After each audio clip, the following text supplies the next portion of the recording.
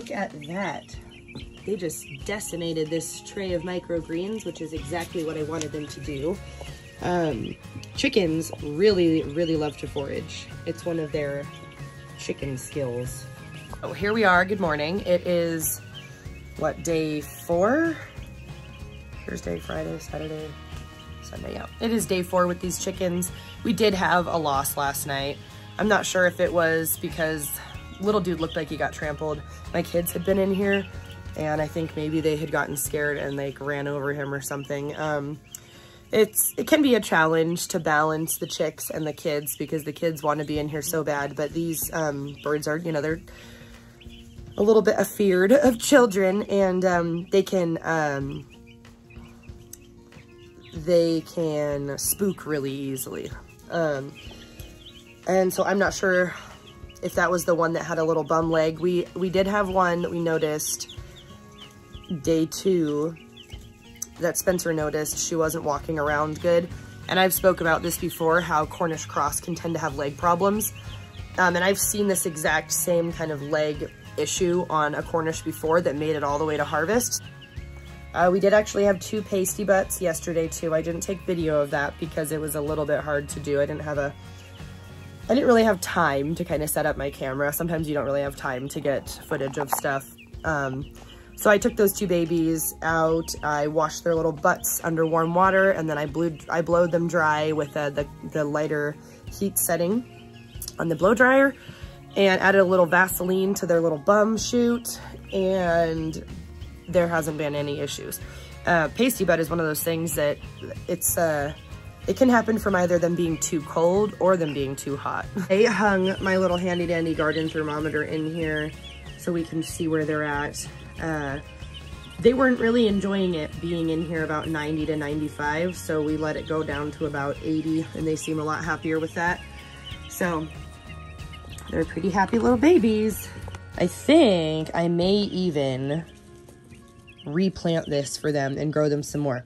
It only takes about like five to seven days to grow a tray of microgreens. And as you can see, the birds really loved it. Um, so for those of you who don't know, uh, chickens are great foragers. I've talked about this. They're amazingly curious. They can actually eat around a third of their diet solely in like grass forage. So they really enjoy plants. Um, they're omnivores. And there's um, a lot of really wonderful things in the chlorophyll of plants. It actually changes the, uh, it really changes the fat in a chicken, which is partially why we want them pastured. Uh, pastured poultry is a step above any other poultry that you're ever gonna eat, you guys. They need grass, they want grass, it helps them to stay healthy and it also turns their fat into the most gloriously yellow, beautiful, sun-colored fat. And it's it tastes completely different than store-bought chicken. If you don't know this, chicken fat shouldn't be like whitish gray. It shouldn't. It really should be a beautiful yellow color, kind of like the color of these babies right now. So, um, that's what we're aiming for. So I wanted to get these babies a first time um, practice run on foraging. If uh, they had a mama hen, mama hen would be out there showing them what tastes good and what to peck on. And as you saw in the last video, they immediately just jumped right on that thing and it only took them about six hours to completely knock it down and I left it in here overnight so that they could um, mess around with the root systems and stuff. And I'll show you guys this. Hold on. You can see how this side is like so much lower than this side. The soil was all the same level, but now they're starting to actually scratch, which is another chicken talent. They're amazing um, shallow tillers. I mean, they can get really crazy and dig some bad holes if you leave them in a spot for too long. But that's why these chickens will be in mobile tractors with mobile netting, so they will be moved every day once they're out on the pasture. So they won't have the chance to destroy the ground, but they will have the chance to kind of lightly aerate it, fertilize it by pooping, and they're gonna be getting that wonderful forage that they need. So there you have it. Gonna get you out of this pool today, little babies. Get you a bunch more space. because your Goosey Goose friends are gonna be here in a matter of days. I haven't mentioned this yet, but we also like to have protection geese with our chickens because they're loud, they're wonderful security systems, they're very territorial. They really, if you raise a goose by itself with chickens, they think that they're chickens and they're very territorial, like I said, so they'll protect their babies. And hopefully um, we can actually get a Christmas goose out of this this time. My last goose we sold to a sanctuary before we left Oregon, and so I, I missed out on the Christmas goose. But I really am desiring to bring a Christmas goose to our dining room table for our family.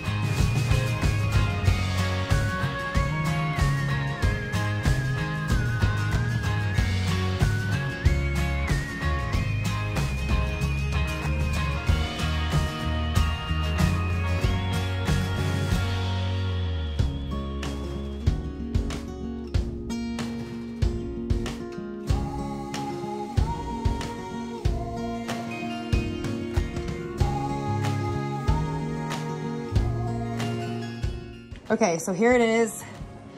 Um, we got it filled with um, just a couple, few inches of the maple mulch that we got the other day. And we used these old closet doors that came off of all the closets in our house that we aren't gonna use, so that's free. Greenhouse plastic that I already had that I hoarded from Oregon that we never used, and so we're not gonna be building a greenhouse or hoop house anytime soon, so figured we'd use that plastic. And then we will cover this with a smaller, finer pine shavings for the birds. And this is where they will be housed until we take them out on the pasture. Much bigger, way more spacious for them, so. We're gonna eat some dinner and then we will get this all set up for them and get them tucked in for the night.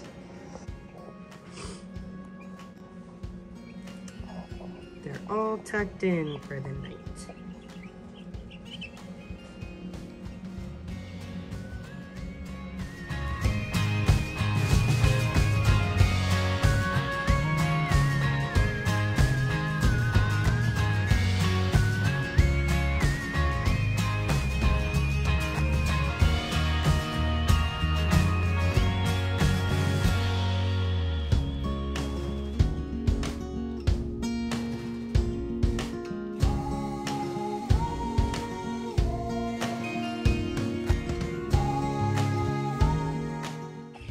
What have you been doing in here?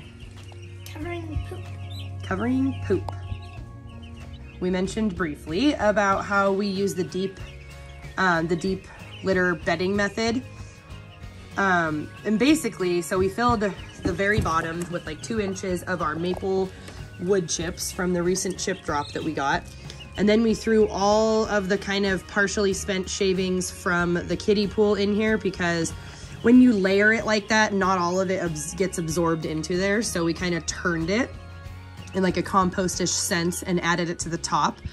And then we just covered wet spots with the new shavings. So what this does is it actually creates like a kind of a composting uh, situation basically in the deeper parts. It takes a little bit, but as you add onto there, the chicken's um, poop is really full of nitrogen, so it starts to break down almost immediately, and it can actually generate its own heat. So this is really a good thing for if you have chickens overwintering in like a static stationary coop, you can deep litter bed their coop and just keep adding to it over the wintertime and it will slowly compost down on the very basal layers, therefore generating some heat in the coop and keeping the birds um, feet warm, keeping the bottom of the coop from freezing.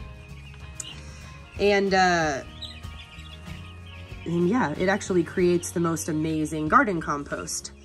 What you might think of this as being like uh, a lot of waste, like, oh, this system creates a lot of waste. But in fact, it doesn't create any waste.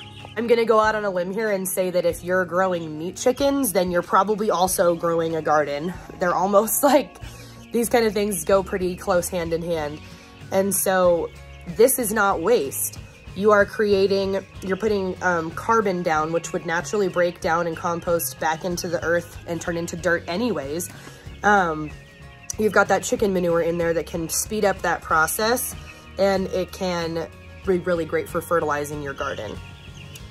And we're really grateful for them and their little poops because that's gonna feed and um, that's gonna feed back into our garden and kind of close that loop, right? So if we had no garden, we would have to do something with all of this like shavings, waste, and poop.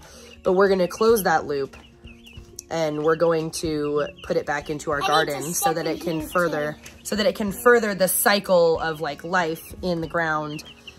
So what Murphy does is she just has a little pot that she dips into the shaving bag over there. We always, always keep a big bag of shavings. I usually keep it in like a metal trash can, but um, when you move and you get rid of all your farm infrastructure, you don't have those anymore. so I, we've just got it in the bag, but usually it's nice to keep it in a trash can so that it, oh, but that's for dad. It's nice to keep it in a trash can so it stays dry because you don't want the, you don't want your carbonaceous diaper to be wet going in there because then that doesn't really help the situation. So what she was doing is she was just sprinkling shavings over the little dookies and it actually cuts down on the smell. You can barely see them. They look like mm -hmm. They do. Well, and I'm really close to this thing. You guys obviously can't smell it, but I'm very close to this. Um, I'm probably like 18 inches away from where the chips are, my nose to the, to the chips, and I don't smell poop. I smell pine shavings. So that's the whole point, is another, yeah. it's another thing we were talking about with um, like 90% of farming being observation. Oh gosh, um, you need, you can uh, really trust your nose, really trust your nose, trust your eyes, trust your ears. Um, trust your, your farm intuition because... You're gonna choke her these Oh yeah, get those out of there. She's also getting the shavings out of there. So yeah, really just trust your nose. If you smell things, cover it up with shavings. And we just do this, um, everybody in our family at this point, other than the little tiny people, is trained to do this. So we don't have to tell anybody anymore. We don't have to really think about it. Whenever anybody's out here, I'm constantly catching Murphy and Ireland and Spencer out here observing, covering up shavings, pulling shavings out of waters, pulling shavings out of the feeder. So I, I had to like put the cap on on the water and, mm -hmm. actually like dump her. Yep, it's a team effort. We're all doing it together, but see when we're all kind of observing and we're all doing a little bit of work all the time, um, they're safer because there's more people watching out for them. They're cleaner because there's, yeah, more people checking on their poop and they're just, I think they're all together happier when it's done in a, in a team fashion like this. There's a lot of eyes to keep, um, to keep in check with these little babies. We also turned this one off because we don't need the third one during the day, but Spencer had to run out in the middle of the night last night, basically. Luckily, we live like a mile from Walmart to get another heat bulb because we realized pretty quickly that these two um, heat lamps weren't gonna keep them warm enough out here. We did put a radiant heater right next to here and that was like wafting really warm air over them all night and it actually warmed the slab, which is awesome. One of our um, big projects that we hope to accomplish this year is to insulate this garage so that it's a more usable space in the really hot heat of the summer and the super cold negative temperatures of the winter. But they did okay. They did okay.